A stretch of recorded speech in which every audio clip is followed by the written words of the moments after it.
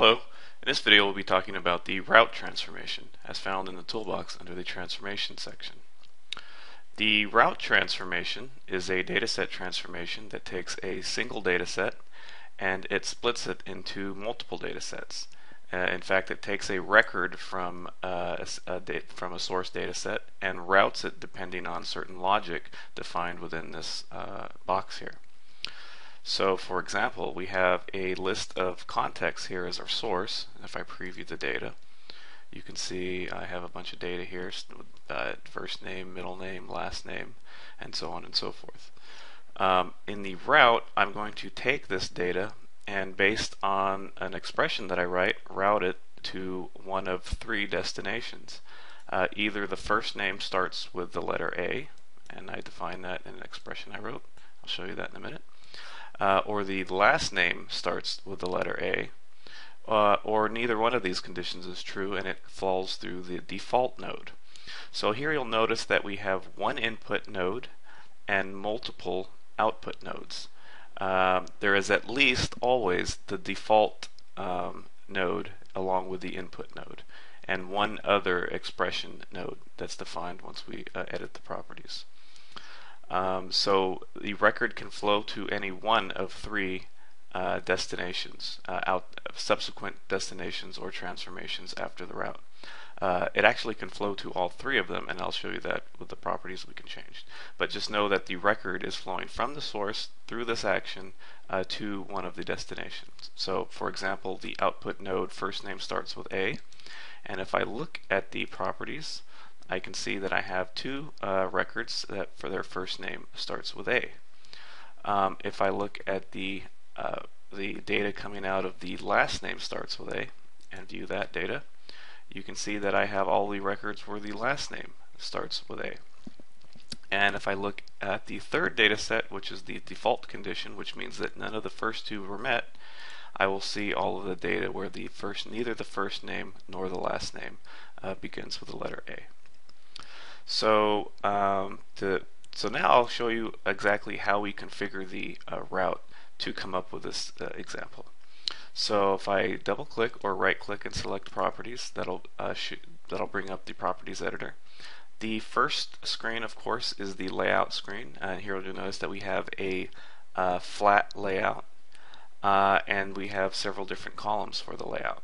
One thing to notice about the route is that uh, you'll notice that the input here, which was defined, uh, you can define it either in the editor, the properties editor, or the standard uh, creation through the diagram, either through AutoMap or by dragging and dropping onto the new member.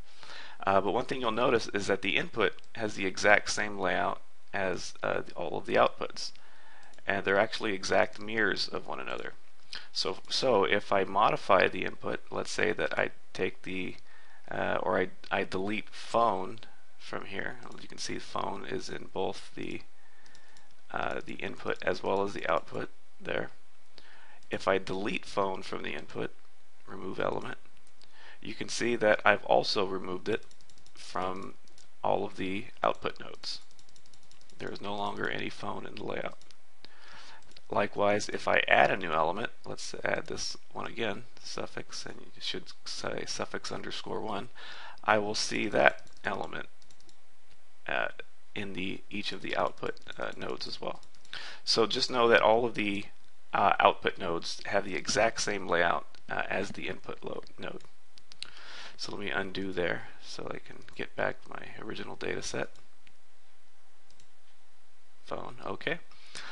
Um, and now let me go back to the properties and to the next screen. On this screen is where we actually configure how we route records uh, through the diagram. So notice that um, we have the first name starts with uh, rule and this uh, we have a grid at the top and the rule editor here at the bottom. I can change which editor which rule I'm editing by clicking on a different row in the grid and the grid contains uh, the name of the rule, the expression uh, that's used within the rule, and whether or not it's active or not.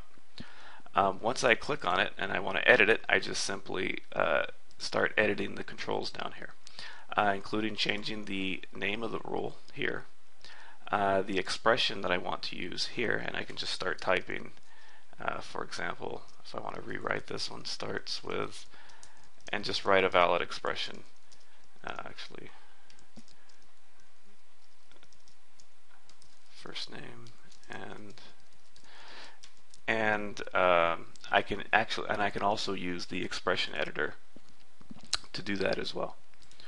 So uh, once I have this all uh, filled out, I now have two output ports corresponding to each row in my rules grid. And I can add and remove that by the controls here in the middle. So clicking on this new, uh, this, this little green plus with a little blue box here, this will add a new row in the grid. And here you see the default value, rule 3.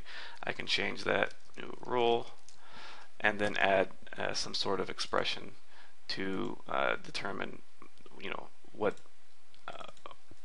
what, what how this uh, rule should be followed, or what the logic for the rule is, I should say. Now that I have this, I can select OK, or I can delete uh, an existing rule, and now I only have two rules again. And once I do that, I'll change the uh, actual output of the uh, of the route, but the layout remains exactly the same. So I'm going to go ahead and undo here and show one one more thing about the route. Uh, here I undid it back to the other original configuration here. Um, is that there was one other property we didn't go over, and that is the uh, the follow only first match rule. And what this means is is that uh, by default this is checked, and if I check this, only if a name shows up, if an if a if a record matches a rule, it will follow this output rule. So whichever rule is first, if it if evaluates to true, it'll go ahead and follow this route and end up in this data set. Even though the the record also matches the second rule, it will it will not follow that that uh, this logic path because it already matched the first one here. So for example, if I look at my data set, the first name starts with A. You'll see that we have two records here, including one Amy Alberts um, but if I look at the second data set, you can see that there's no Amy uh, Alberts, and to help uh, visualize that, I'm going to go ahead and just run this filter, which just looks for Amy, and you'll see that the command did not generate any records, whereas this one, it found Amy Alberts, uh, no problem. If I go back and modify that uh, that follow only first match rule and uncheck it, you'll see how that changes the result of the route. So if I look here, it still shows up under first names that start with A. Uh, but it also shows up under last names that start with A because it also matches uh, that logic.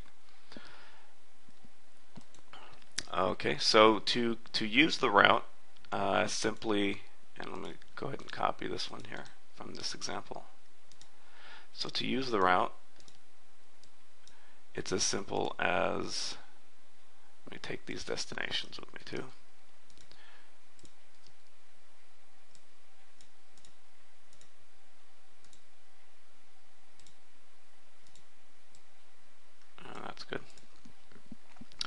Uh, you go to the toolbox under the route uh, node in the toolbox, drag and drop onto the diagram.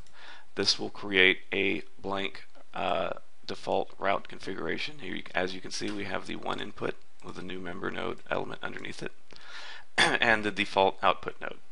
So uh, right away I'm gonna I'm gonna build my layout layout and to do that I'm just gonna in this case I'm just gonna auto map because I'm gonna take every single field from the source. I need not do that. I can have a I can have a different layout than the source, but in this case I'm just gonna leave it the same. Um, and now I'm gonna configure my outputs. So I'm gonna go and click on Add New Rule. I'm gonna say Rule One and and write an expression. So I'm gonna say starts with uh, actually, the first name starts with A. Compile. Add a new rule. Last name. I'm just going to leave it rule 2 for now. And last name. Oops, sorry. We'll use the starts with again. Last name and A. Okay, And now that I have that, both of these are active. The This checkbox is checked, so it'll only go through one path. I click OK, and now I have the two roles in addition to the default one.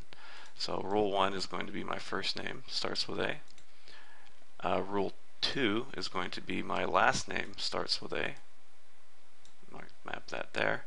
And anything that not matching rules 1 or 2, I'm going to put in this uh, bucket data set here, which will catch everything else. Okay, and now I have three distinct uh, data sets uh, being split from the original data set based on logic I defined in the route. Uh, and that's how you use the route in Centerprise.